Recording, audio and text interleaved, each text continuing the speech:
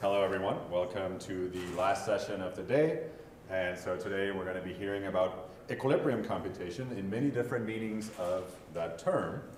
Uh, so first up, we have uh, Bhaskar, who's going to be talking about competitive equilibrium with chores, uh, combinatorial algorithms, and hardness. Okay.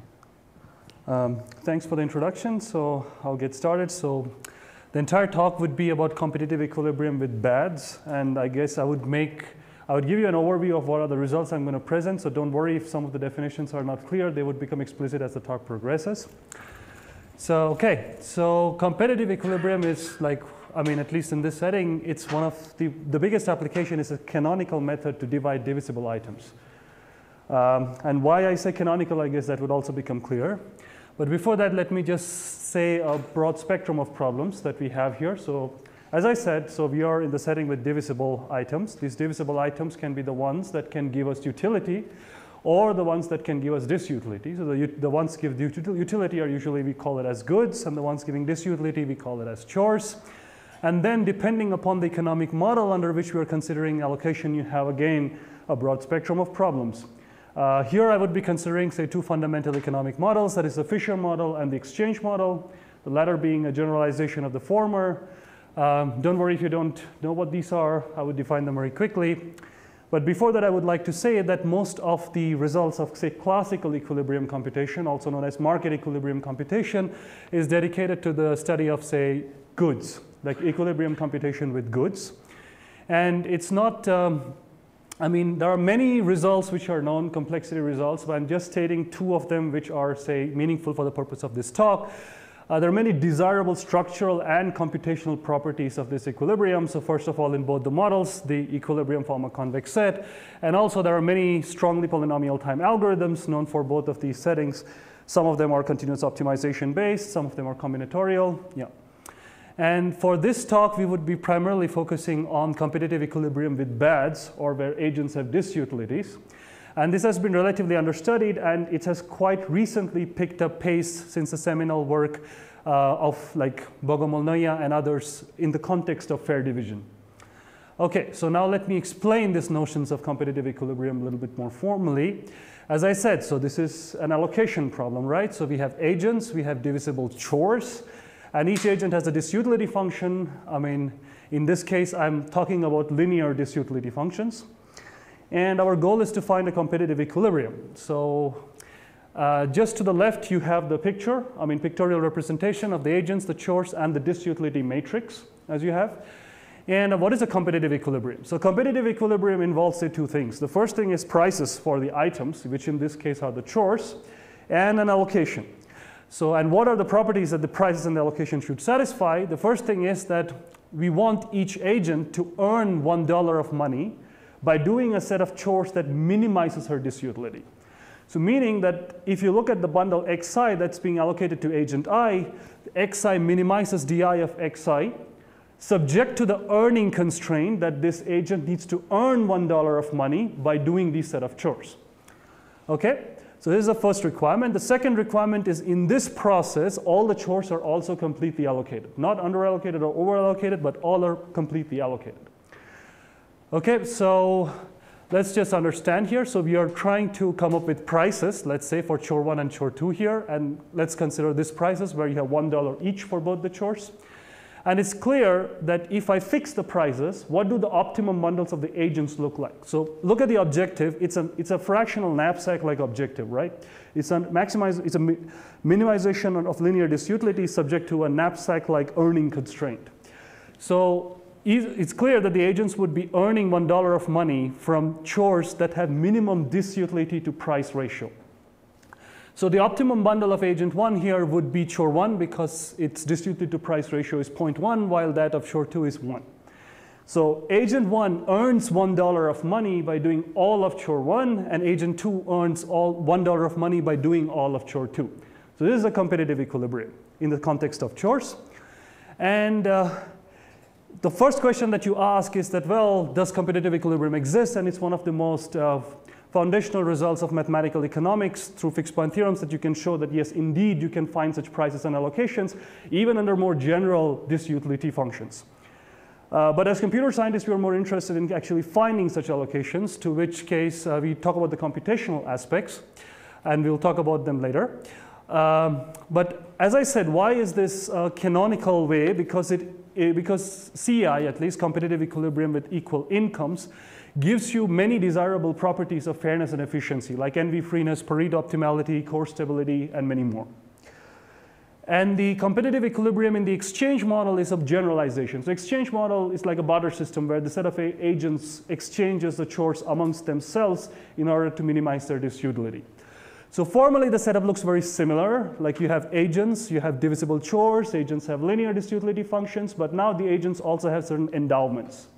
So endowments kind of uh, like is the chores that they bring to the setting. So each say agent I brings Wij units of chore J to the setting. And again, what a competitive equilibrium, the definition is very clear. The only change is in the earning limit of this agent. Earlier we had that every agent earns exactly $1 of money, and now the earning limit is the total cost of the endowment of the agent.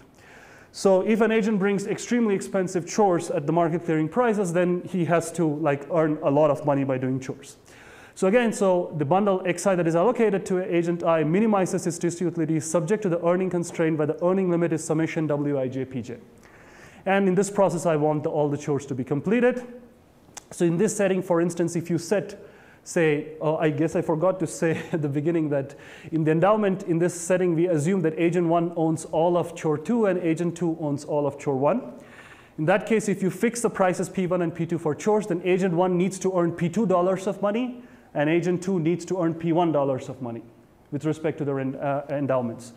And since it's like uh, disutility minimizing, you would, I mean, you would again have the same set of prices and agent one earns $1 of money by doing chore one entirely, and agent who earns $1 of money by doing chore two entirely.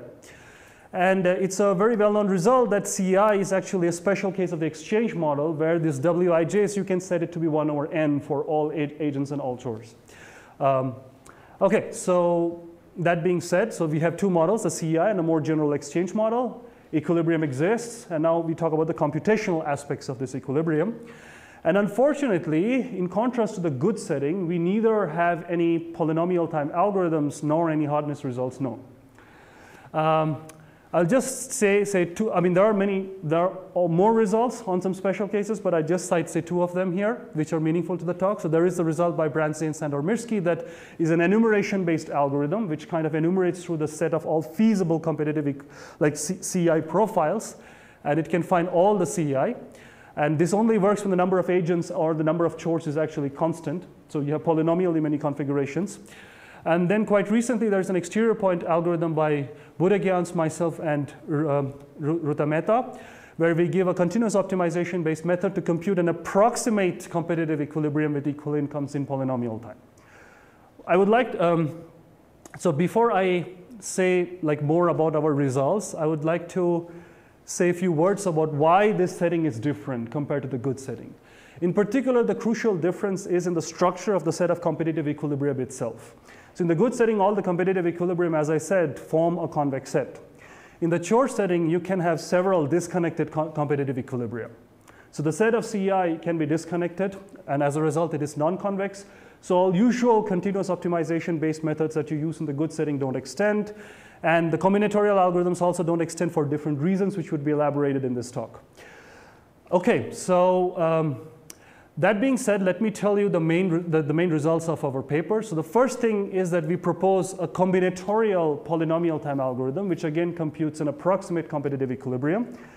And um, this happens to be faster than the exterior point algorithm, but the main takeaway, I believe, is combinatorial algorithms give you more intuitive dynamics of, say, pricing, I mean, how, you, how to change the prices and how to change the allocation on the rules of demand and supply.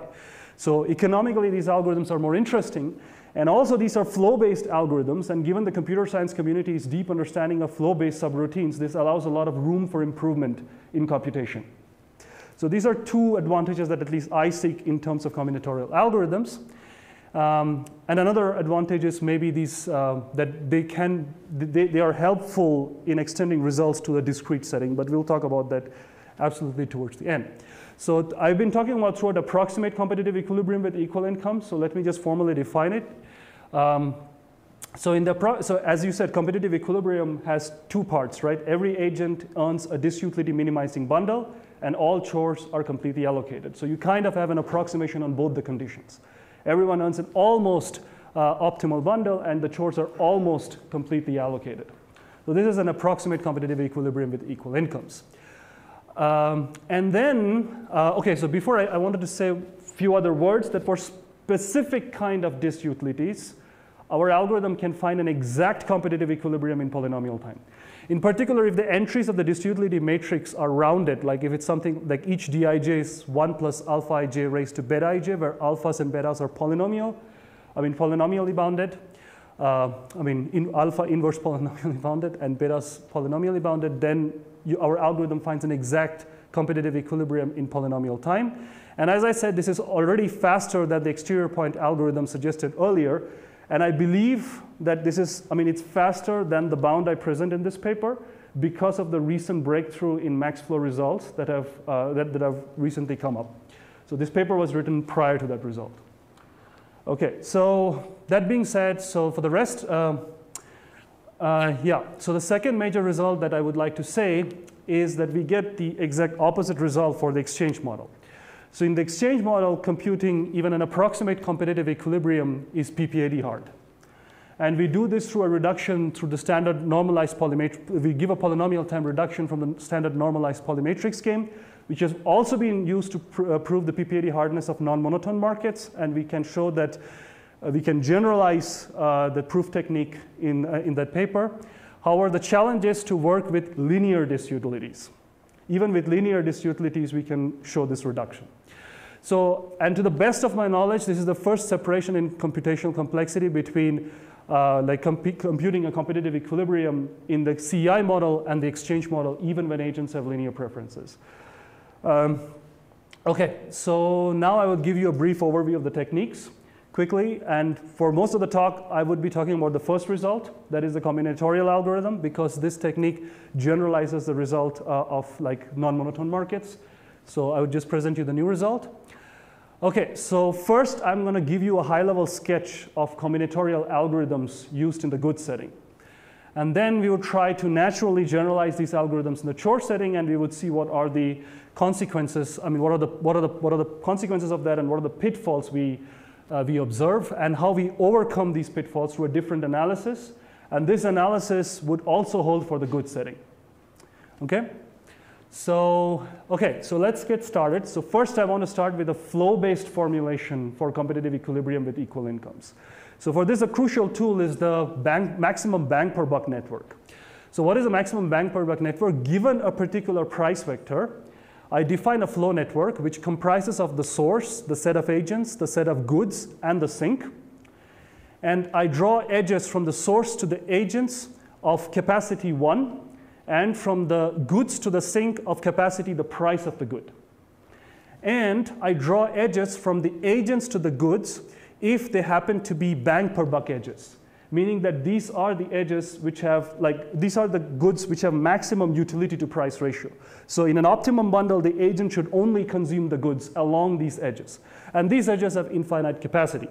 So what is an alternate statement of finding a competitive equilibrium? Our goal is to find a price vector such that the maximum flow in the bang per buck network is n. It saturates all the ed edges from the source to the agents, or equivalently all the edges from the goods to the sink. This is a, this is a formulation that I'm going to work with. Okay, so how is this done? It's a very intuitive update rule, the Walrasian update rule, which basically says we just need to increase the prices of the goods in demand and find a balanced allocation. So what, what does this exactly mean? So given a bang per buck, fix a, fix a price and given a maximum bang per buck network, we find a balanced allocation. Basically, this is a flow which balances the surplus of budgets remaining at the agents. So if you look, an agent is supposed to, in the good setting, spend $1 of money. So you look at how much money the agent still remains. So that's what I call a surplus. You look at the L2 norm of the surpluses. Anything which minimizes the L2 norm or equivalently balances the surpluses of the agent is what I call a balanced flow. And once you fix a balanced flow, you can recover a balanced allocation. So that's the balanced allocation. And what are the goods in demand? Well, look at the agents who have the highest surplus. This is the set S. These are the agents who have too much money, they want to spend, but the goods are completely sold, so they're unable to spend. So these are the goods where demand exceeds supply. So these are the goods in demand, the neighborhood of the goods of uh, neighborhood of S in the bang per buck network. So let's see what happens. So let's say in this figure, agents one, two, three are our agents with high surplus, and um, these are the uh, like uh, yeah, and G2, G3, G4 are the goods in demand. So the intuitive thing to do right now is to increase the prices of the goods in demand. But to what point? So what are the good things that happen when I increase the price of the goods in demand? So first of all, I want the agents to spend more. So when you're increasing the price of the goods in demand, the agents are spending more. Although their consumption is the same, they're actually spending more and their surpluses is reducing, which is exactly what I want. And they can get interested in goods outside. So this, um, so yeah, so we stop either when a new edge appears or when the surplus of one agent from the top, like the top surplus agent equals the surplus of the agents at the bottom. Either ways, the L2 norm of the surpluses decreases. And this is roughly the analysis. I mean, a clever analysis of, the, of this will give you different running times, and most of the procedures have a high, similar high-level structure. So let's say we want to generalize this for the chore setting, where we analogously define the minimum pain per buck network. I mean, same network, only instead of like maximum utility to price ratio, we have minimum disutility to price ratio edges, and we have the same problem. Okay, so and now we do the intuitive Walrasian thing where we decrease the prices of the chores in demand. I mean, balanced allocation, chores in demand follows a similar definition to the goods setting.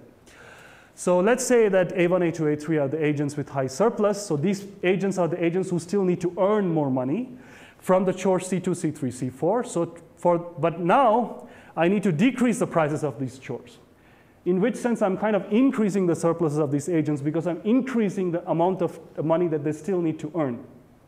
So what's happening is that the L2, no, sorry, what's happening is that the L2 norm of the surpluses is diverging. And this is the fundamental bottleneck for generalizing the combinatorial algorithms.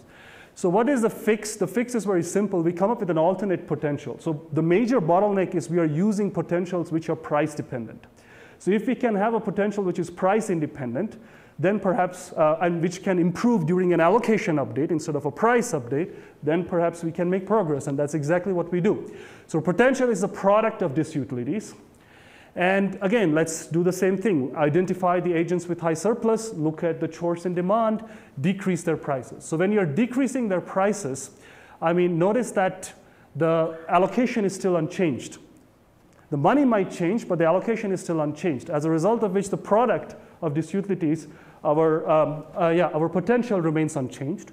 However, the moment we get a new bank, uh, we, we, we get a new edge from say A3 to C5, then we can kind of improve our potential. Why so?